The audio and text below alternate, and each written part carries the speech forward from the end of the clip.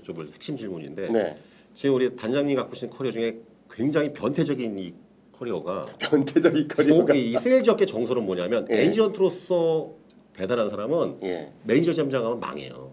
저도 그런. 경우가 많죠. 저도 사실은 예. 영업 되게 잘했잖아요. 왜냐면 자기 성이 안 차니까 그죠? 아니 그러니까 저는 매니저 3년 하면서 어. 대상 포진 두 번 걸고 입 돌아가고 머리 하얗게 되고 완전 폐인 됐거든요. 어. 그냥 사람 많이 뽑았어요. 근데 자꾸 그냥 뭐냐면 이제 어, 시간이 지나서 이해된 게 뭐냐면 그 영업이 되게 이제 사람이 팀이 10명이면 잘하는 사람 3명은 알아서 굴러가잖아요. 되게 음. 자기가 신이 나서 그러니까 안 되는 사람 밑에가 있는데 그 사람들의 마음을 이해할 수가 없었던 거야. 왜냐 아. 나는 주에 빵 쳐본 적도 오래 빵 치는 건 상상할 수도 없고 어. 아니 급여를 저렇게 가져가는데 어떻게 잠을 자고 잠수를 탈까. 어. 그러니까 이거를 포용해야 되는데 그냥 벌금 때리고 그냥 3일만 연락 안 되면 보따리 써서 집에 택배로 보내버리고 그냥 영업하듯이 한 거예요 이거를 그러니까 이게 조직 경영과 영업은 좀 다른 섹터인데 그러니까 삼- 저는 36개월 매니저 하면서 정말 하루도 잠을 편하게 잔 적이 없어요. 야 내가 이거 멀쩡한 사람 잡아다가 인간 폐인 만드는 거 아니야. 나도 돈 못 벌지 맨날 스트레스 쌓이지. 온몸 썩어 문드러지지. 또 지점장 나 괴롭히지 죽이고 싶지 맨날 어 이러다 결국 이제 이렇게 됐는데.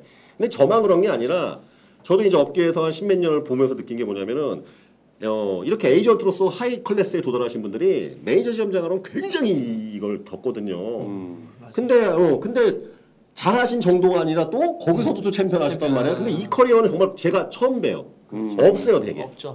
되게 또 반대로 에이전트 때 잘 못했던 사람들이 예, 예. 지점장으로서 능력을 해가 터트리신 분들이 많아요. 이게 예, 그러니까 프로야구 프로야구도 많아요. 선수 때는 좀 중간 정도 했던 사람이 예, 예. 감독으로 대성하거나 예. 그래서 이 선수로 대성한 사람이 감독 대성은 굉장히 어려운 거거든요. 음. 근데 그 처음에 이제 이렇게 조직 경영을 시작하셨을 때 그런 분명히 고통이 있- 있지 않으셨나요? 그런 부분들 이제 처음부터 생각하고 있었죠. 마음속으로는 그래 영업 잘했던 사람이 관리자를 하면은 못한다라는 그 생각을 있죠. 예, 사람들이 가지고 있잖아요. 예. 있고요. 네. 또 회사에서 이제 저한테 그런 기회를 줬을 때 아, 내가 이 반전을 증명해 보이겠다는 생각이 마음속에 더 여쭤보고 싶은 게 대개는 에이전트로 잘 나가신 분들이 대개 경우 아닌 경우도 있지만 영업에 한계가 있거나 봉착했을 때 다른 활로로서 조직 경영을 하는 경우가 많거든요. 그렇죠, 그렇죠. 근데 우리 또 단장님은 왜 사실 조직 경영을 하시려고 생각하셨던 거예요? 그 한계를 한번 극복해 보자. 그 제가 램데알티 연차총회에 가서 이제 미국의 음. 사례도 좀 많이 봤고요. 음.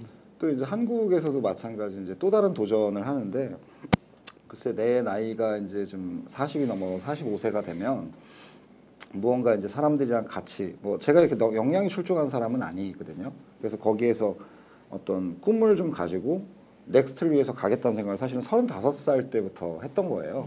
40 42살 정도에는 나는 세일즈도 열심히 하- 했지만 어, 점포 관리자로서의 어떤 역할을 하고 싶다라는 생각을 아예 가지고 있었고요. 어.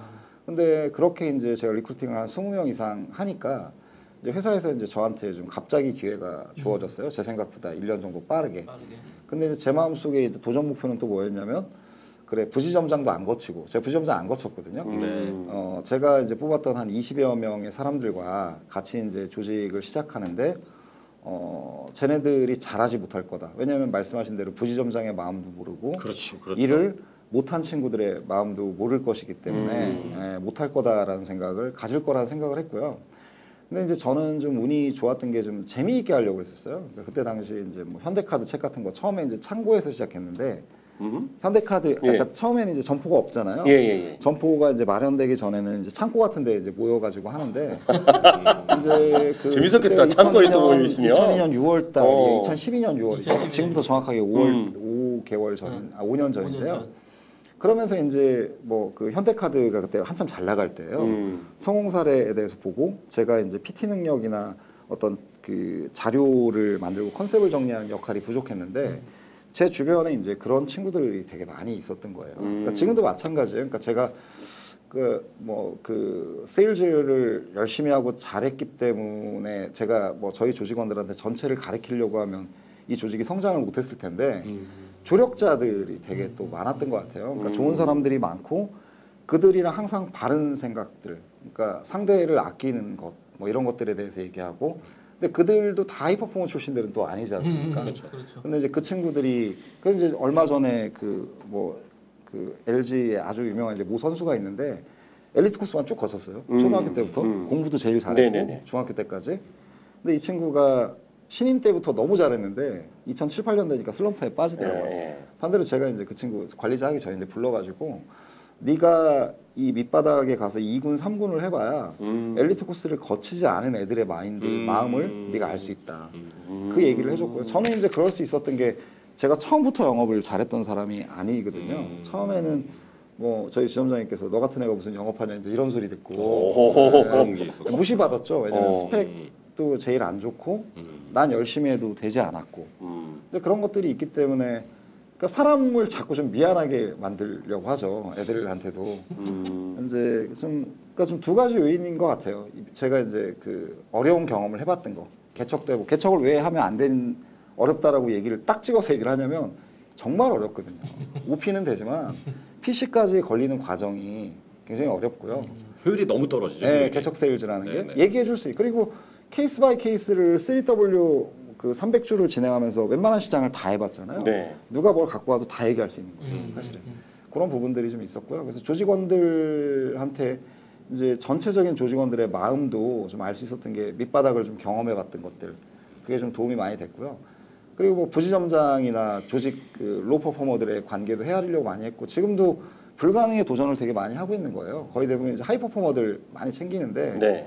그렇지 않은 분들 만나서 밥 먹고 얘기하려고. 그러니까 근데 사실은 성과가 더 나오려면 그쵸, 여기에 집중해야 예. 되는 게 네. 맞아요. 음. 근데 그러니까 저희도 지금 뭐 한 6개월 정도 제가 조직에 집중하고 로퍼포머 좀 어려운 친구들 집중하니까 이제 하이퍼포머 저희 이제 친구들이 음. 어 약간 이제 입이 어, 튀어나오고 예, 있어요. 그런 게 있어요. 그래서 진짜 또 예, 그런 게또 있어요. 하반기에 다, 다 내 자식들인데 여기 집중하면 예. 여기 또 막내가 오라 그러고 막내한테 그럼 또 이런 게 예, 있으니까. 하반기에 그래서 이제 지금 어제부터 그 친구들 을 만나거든요. 음. 되게 미안하다. 솔직히 얘기하는 거죠. 음. 난 6개월 동안 조직이랑 어려운 친구들 집중했는데 너희들에 대해서 6개월 되게 등한시한 것 같아. 앞으로 6개월은 너희들이랑 같이 좀 이렇게 해나갔으면 좋겠다. 이야. 뭐 이런 그러니까, 그러니까 마음속에 있는 얘기를 잘해요. 별로 이렇게 가려 하지 않고요. 이게 어. 완벽하지 않더라도 그냥 하고 싶은 얘기를 애들한테 하는 것 같아요. 야, 되게 그 저, 내가 보니까 눈치가 빠르셔. 네, 빨라요. 이게 촉이 있어, 촉이. 어디다 내가 이렇게 신경 써야 되고 네. 부족한 부분들을 챙기는 거. 어, 이런 부분 때문에 영업을 잘하신 것 같습니다. 아니 그 예. 부분에 대한 또 근원도 예. 눈치가 빠를 그 센스가 있다. 예. 그러니까 맨날 필기하니까 센스가 빨라지시겠죠 어, 이거를. 어, 그 집중하니까. 보면. 아니, 집중하니까 하는 하는 어.